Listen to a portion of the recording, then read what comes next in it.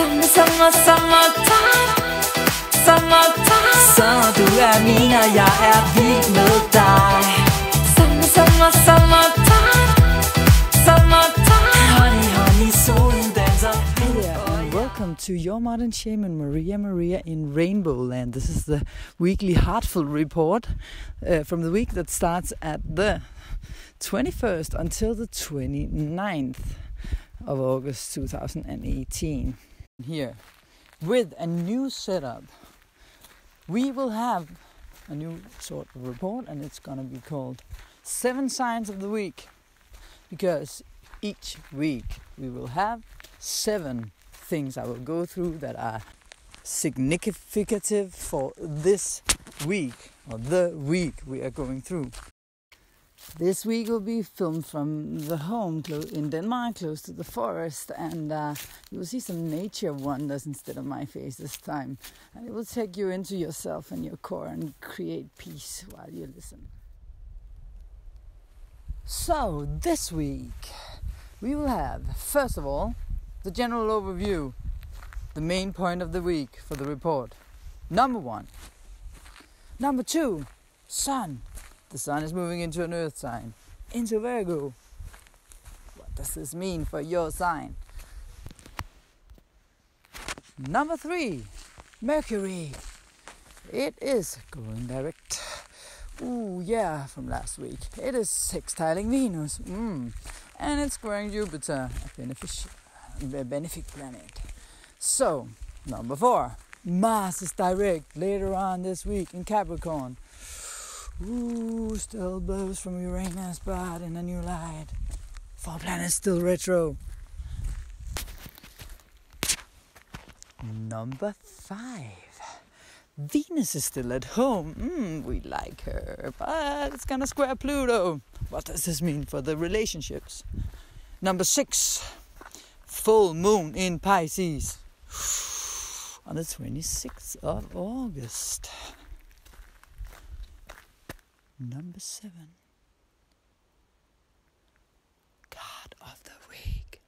Yay! We'll start with weekly tarot cards because Maria has been doing tarot since she got her first deck at, uh, from her father, who is also a tarot card reader when she was 12. So, of course, she will use this now, and it's Rider Waite, Rider Waite card. Yeah, that is the extra of this week, but it will be every week from now on that we will also take a tarot card sign. So, these are the seven th- signs of the week. And now we start with number one. Are you ready? The overall view for all of us. Yay! And this week, my main theme will be Man plans, God, God laughs. And do you know what I mean by that?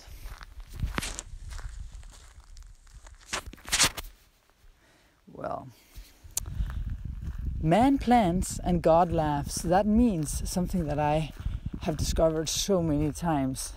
We can want and desire this and that and that and this with our little human egos, and we sh- for sure we will because we have Jupiter in Scorpio. And we can shout and we can scream and we can do this and that and we can complain and be, put guilt upon this and that person, you know, and say, oh, this is also because he didn't do, or she didn't do, or I didn't do, and we blame ourselves, we blame others, etc. But when it all comes down to it, I've said it before, then what I can see as an astrologer is that there is a plan.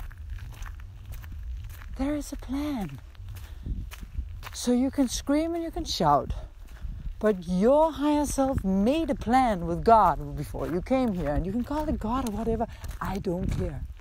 I am not talking about uh, just, you know, any kind of 3D God that wants your money. I'm talking about Creator, what made us what we are all a grand part of, which means that God is us in a way. But um, that's a longer philosophical story. The whole point is that whatever you're struggling with now, and whatever you feel bruised and battered about coming out of the eclipse, is a part of a plan. And you know, if you have a strong desire with Jupiter and Scorpio, you have with Uranus and Taurus, there's something you want to manifest. You know, and with all the things that has been going on in Leo, where we are now going into another sign, of course, then, yeah, you know what I'm gonna say?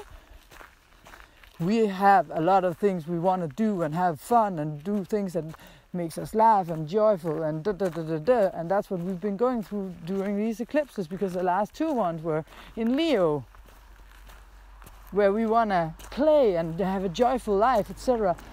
But not all of the plans are accessible right now. So surrender your desires to God.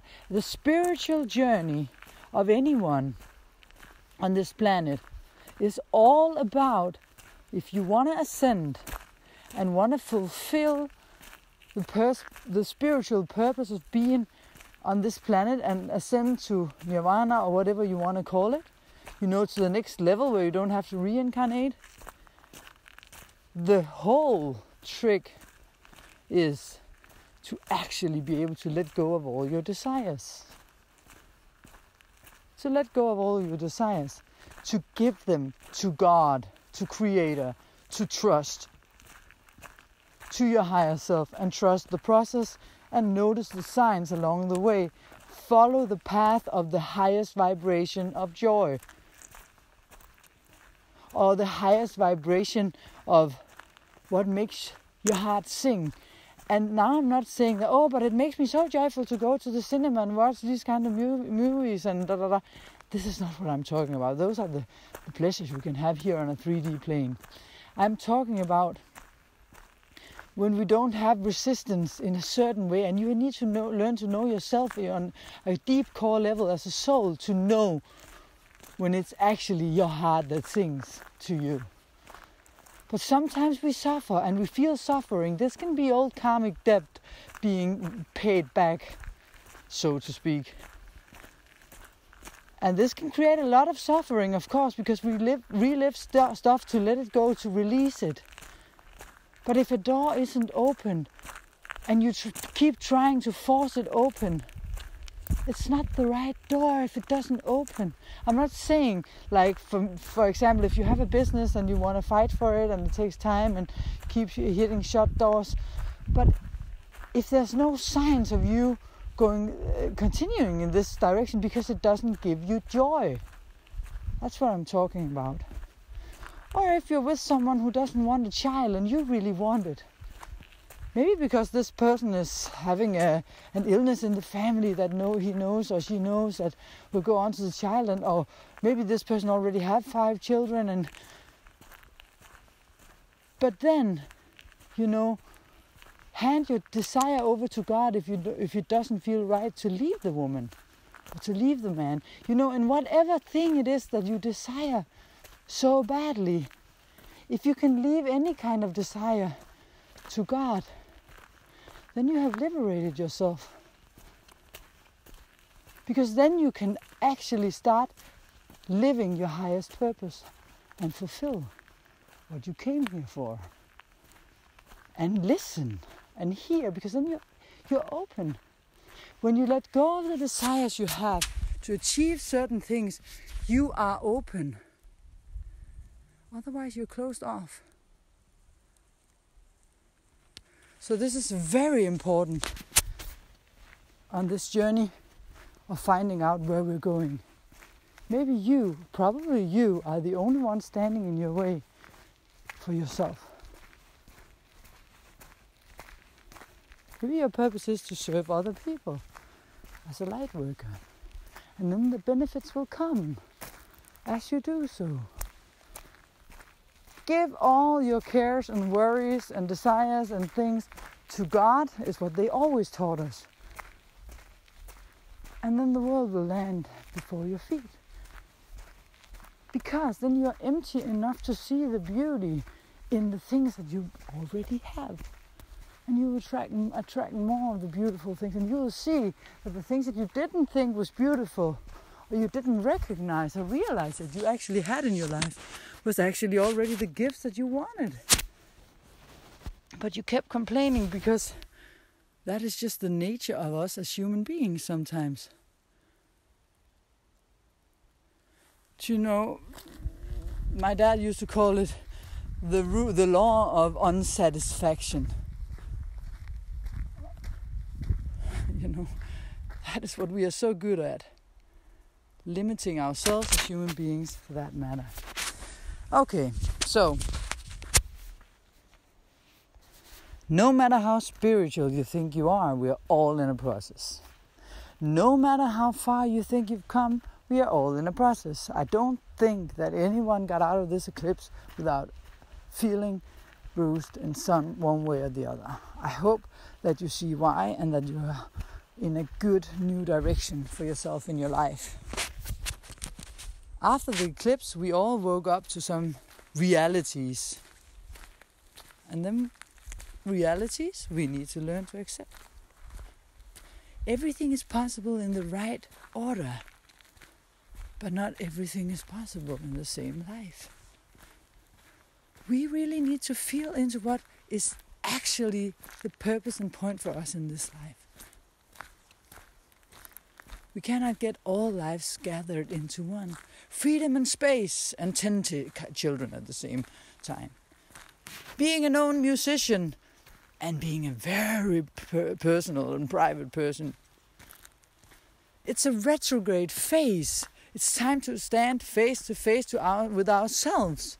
So don't focus too much upon, oh, but he also said, and she also did, and they also da da da da da. Put your focus and intention inwardly. Still, I know that some has to be outwardly because now we have Mercury moving forward, and we will have Mars doing the same thing. So, a lot is going on this week.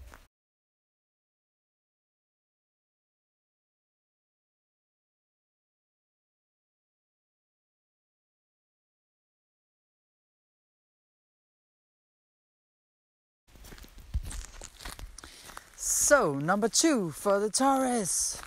The sun is moving into. Yay, this week! Earth sign, your sister sign of Virgo, your fifth house. Way.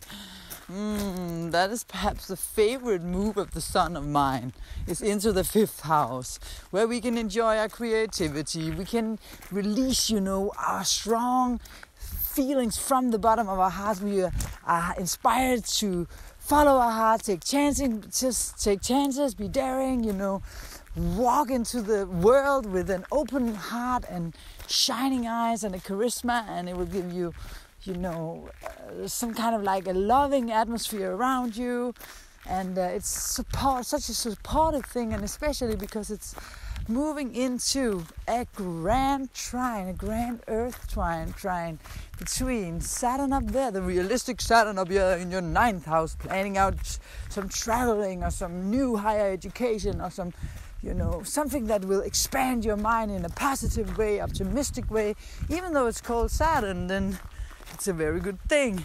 And at the same time, Uranus in your own sign will give you some innovative ideas about how you can be a better you and change yourself in a way that will probably make you even more attractive to the opposite sex, or maybe you know the children in your life will benefit so much from it because you are glowing and you are ready to embrace everything they have to give you and you give them back. And hallelujah oh i'm sorry. This is just one of my favorite uh, my favorite aspects. Then we have number three mercury. It's going direct and it's venus sextile. And there's a square to jupiter and what does this mean for you? Well okay mercury direct in your fourth house. That is a good thing because that's been a little bit up and down and back and forth, forth in this sector for you guys. So basically, what I want to say is that Mercury forward is a relief, but it's gonna square with Jupiter, and it's in Jupiter is in your seventh house, and you know it can be some, you know, optimistic and positive things because it's Jupiter and Jupiter is positive. That if something bad has been, they can be improved in being positive. You know, if something bad has been going on in your life, uh, in certain areas of- your home life uh, where you didn't feel like things were going moving forward in the right way. Maybe you get some new ideas about how they can move forward uh, in uh, cooperation with other people. And even though there's something that itches at the same time here, yeah, hopefully it will be a good one. if you think positively, you can improve it. Just remember to use that it is positive, even though, it can feel a little downer, you know. But then again, at the same time, we have Venus in uh, in a, in a sextile to Mercury, and that is between your sixth and your fourth house. So, if anything is kind of nagging you relationship-wise, you can use a work situation and be productive and do something, get something done, plan, organize, uh, clean up something, make it perfect, make it shine.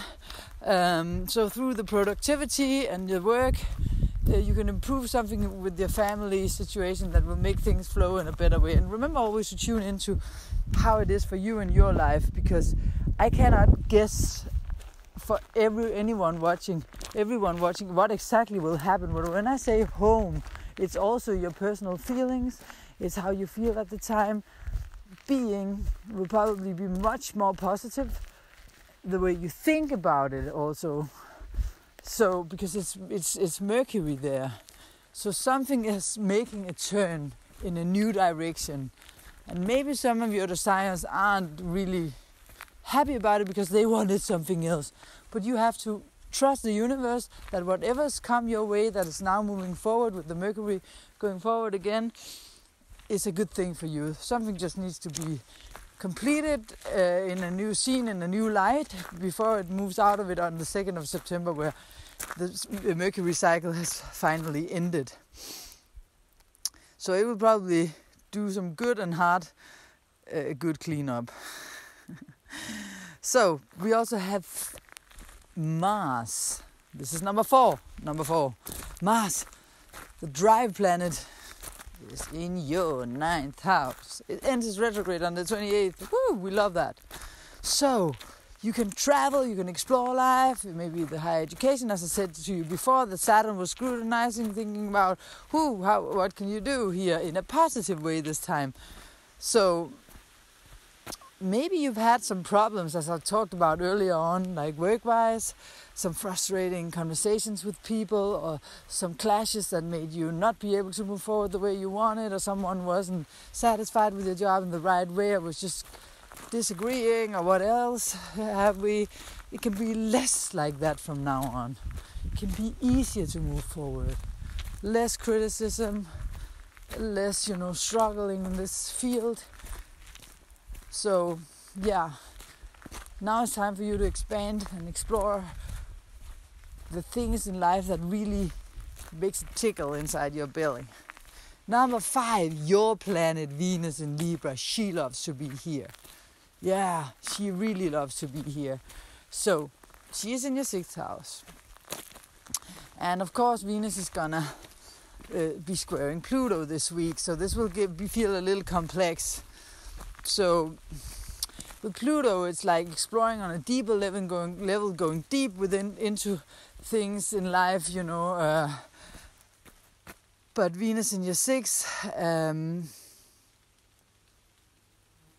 wants to work in a certain way, perhaps. Uh, Venus in your six is happy about uh, things being more in harmony, and you know, in Libra, it's more just like the beauty of things. And I'm not saying the Libra aren't deep, but it's an air sign, so it's kind of like just want to enjoy uh, the the routines, the daily routines. Enjoy going into uh, the details of things, uh, the beauty of things. Um, but with Pluto up there in the ninth, wants to go very deep into things on a very deep level, and this may not always be so pretty, but it's, so maybe you will have some discussions with people conversations um, that aren't just going the way that you want them to go, but don't worry.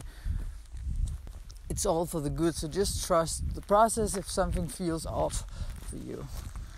And your planet is in its other home sign. Venus rules your sign and the Libran. So it feels at home here. It's another nice place for Venus to be. So no matter who is gonna try to put you into a situation where you feel it's a little too deep or steep, then just feel the benefit of her being at home and feeling safe at the same time. A lot is still going on for all of us in our lives, and we all need to adjust and to these new situations that we are in after a pretty hardcore uh, eclipse phase where we still have four retrogrades, which means that we still need some time looking inwardly. So even though the Venus Pluto square is telling us to learn to be better in our relationships, to learn to act differently with other people, act more trustful even though they want something else in us, act less stubborn, act more open to new ideas, etc., then we are still inward in an inward thinking, inward feeling uh, phase with still more, still four more planets moving retro as this week ends. But two more is going forward, and that's an awesome thing. Thank you so much, Taurus, for watching. And remember, the most important thing, besides from, of course, uh, subscribing to the channel and giving me positive or constructive criticism, uh, which is always welcome, very welcome. Number seven for the Taurus. We shouldn't forget number seven. It's the card of the day, uh, the card of the week, actually, and that is the Knight of Cups. Yay! And why am I yaying on this one? It's because it has something to do, of course, with the sun moving into your fifth house where you can shine like a knight and, you know, be this glamorous figure that the women will love or the men will love because they need your earthy beauty and you know you just have this thing where you just want to if you are have a partner which is a taurus hug and kiss and and you know and you will come there. Look at the card. Yeah you will come there looking beautiful and you know triumphant and finally show yourself in a way where people will send you love because you have such a great charisma. And like that you will inspire people to not follow trends, but to follow their hearts, because that is the fifth house stuff as well. So, thanks for watching. See you next week, Taurus. Summer, summer, summertime. Summertime. Så du er min, og jeg er vild med dig Summer, summer, summertime.